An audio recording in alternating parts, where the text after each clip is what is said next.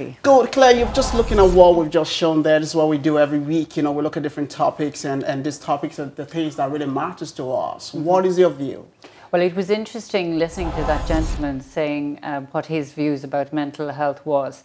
And mental health is more than the absence of mental illness. It's exactly what he said was it's good well-being, tackling problems. We will all, at some stage, it's estimated that one in four people in Ireland each year um, have an episode of mental um, challenge, Yes, shall we sure. say. So I think um, what we do as a voluntary organisation in Carlow is promote positive mental health and ways and activities that we can uh, bolster our own selves when we come across these challenges. Good. Okay. And what are the biggest cha- challenges you do face in terms of all, all of this? Well, in, exactly what the gentleman said too, and the lady too. They mentioned relationships, work, uh, lack of money. Lot, nowadays in society, all of these issues affect how we feel mentally as well as physically.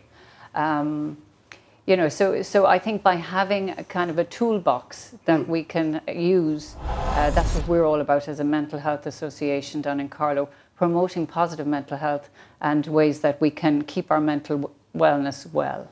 And how can we tackle some of these issues that individuals do actually face sometimes? You know, like I think she mentioned something like, you know, marriages, schools, and your man has already mentioned some other things. So why is all these things number one? And how do we manage to kind of deal with these things? Because like your organization all the way from Cali, you're doing a lot of work. Yeah. How how are you guys voluntarily putting all of these things into one part? Okay, well, we're a voluntary organisation, but each year we have a week in October that it coincides with World Mental Health Day, which is the 10th of October this year. Yes. And we're starting a week of activities promoting positive mental health.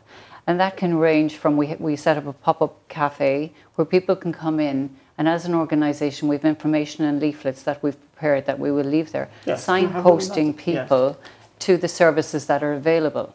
Okay. Okay, so there are lots of services. Sometimes people find it difficult to access those services through stigma associated with feeling a bit lower depression. Hmm. Like we all know the stigma associated with mental illness. True. Uh, so we maintain that by having a very social environment like a coffee shop, people can come in and easily uh, pick up some of the leaflets.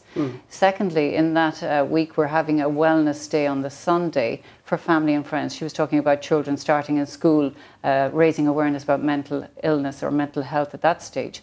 Um, on our Sunday in October, we're going to have a day, it's going to be like a soothing Sunday. So we're having Tai Chi, yoga, Wow. mindfulness, walks, things like that, activities, eating well, all that kind of very basic, but reminders that we all need to be reminded how to look after our mental health. That's very Yeah. good, very good. Is that one wonder, wonderful, guys? Yeah, that's good. Yeah. Now, just looking at you guys from, um, you know, the Carlow, the old Carlow, you know, organization, Yes. community. You guys are doing a lot, a lot, a lot of things happening there. So, how, in terms of this kind of issue, what are the areas you are dealing with, or the, you know, uh, people will kind of get caught in all of this? How, how do We're not actually a service provider because we're a voluntary organisation. We don't provide a service. All the work that we do is done voluntary, and we have a very good committee of about 16 people that may well work within the sector, but they're bringing their expertise onto our committee. So as a result, we can be guided by them as regards what's needed within a society. But as regards funding for us, uh, you know, people locally would would fundraise, but. Um, we provide the service. We don't. We, we don't provide a service. We provide information and we signpost people to the services that are available through wellness boards that we um, put up outside uh, GAA clubs. Different. uh, You know, so people have it in the library as well. We've got a wellness board outside that um, identifies all the different services like MABS, Aware, the Samaritans, all those very important phone numbers and websites that people need to look after their mental health. Great. And we look at the pro promotion side, uh, which she mentioned as well, Mm. like a lot more pro promotion um, needs to, to be done in terms of this. And I believe um, we have the uh, Maura does that as well. She looks after the pro promotion Absolutely. side. Like all of these brochures that we have designed and put together, we have we've had to pay for. Yes. So Maura, who your next guest is going to be, Yes. has decided to do some fundraising for us. We find that local um, groups within Carlow Town and County come to us and say, like the golf club last year came forward and presented us with a check that they had run something themselves. Wow, So that's that's, how good. we um, have our funding. The coffee shop also during Mental Health Week, that provides a certain amount of money that we then put back into providing leaflets and information. That's good. That's good. We're just going to hold it there. Let's bring uh, Maura in on the show. Please give it up one more time for Maura on the show. And like Hello, Uh, Claire was just How are talking you? about the promotional aspect. You know, can you kind of give us more details about how you look after the promotional aspect of this awareness, the campaign and the rest?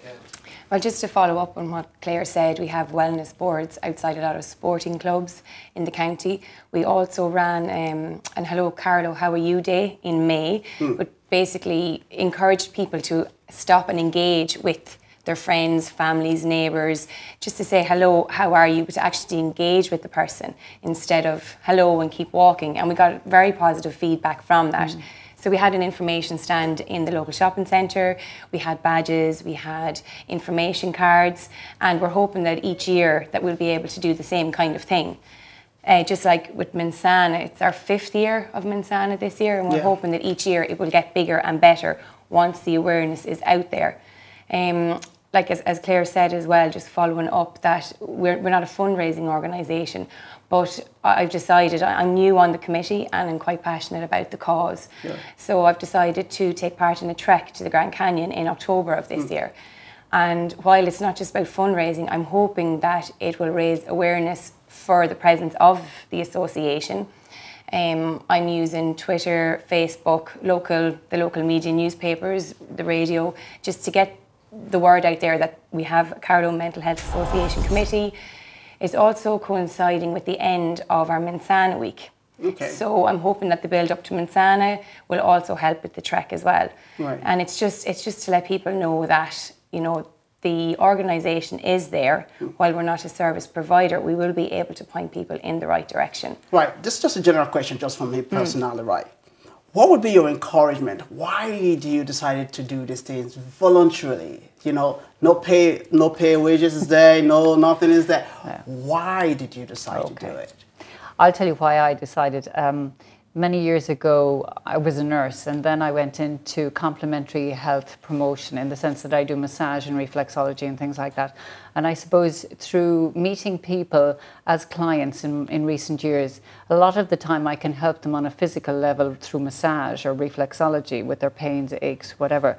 But as regards the mental turmoil that people sometimes go through, I felt I was at a little bit of a loss. Hmm. And as a result, I knew that we had a local mental health association, and I felt that by joining that, I could then add extra value to the service that I provide as a holistic therapist, you know, from a, a mental perspective. If people are suffering with depression or low mood or just stress in general, True. I felt that I could um, signpost them in the right direction if they needed extra help that I personally couldn't give them.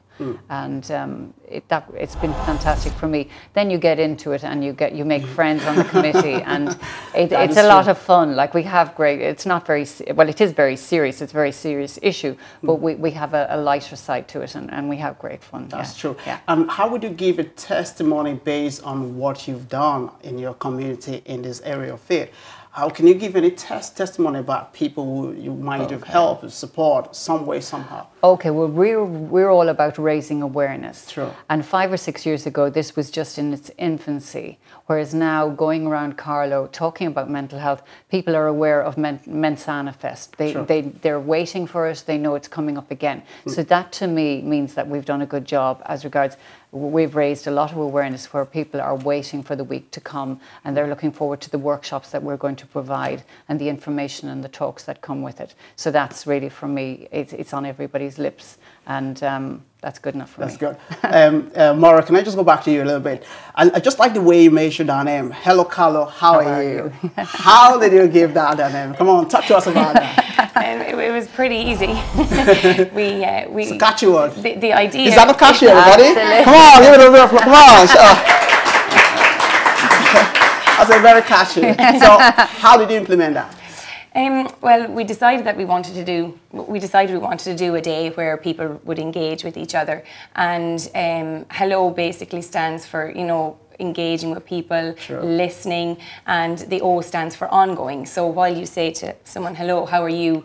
That you follow up maybe the next day. You know, maybe one day they're not feeling so good, and the next day then you, it's an ongoing kind of a thing. It's not just a one day. Very so good. you can follow up with the person and say, well, how are you today? Honestly, it's very catchy. And it's catchy. It's catchy.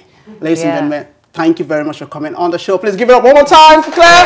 Thank you. And give it up one more time for Maura. Thank you very much. Just before you go, have your website, people can find you and they can Absolutely. go in Yes, the have a look. website is there, and um, Okay. you can perhaps display it at the end of the program. Sure, Yeah? we'll definitely do that. That so stay tuned, we'll be right back, okay? So if you're at home, stay tuned, we'll be right back after this as Miss Irish Arts, Chanel Mara will be joining us later on the show. So we'll be right back after this. Thank you. One more time, please. Thank you.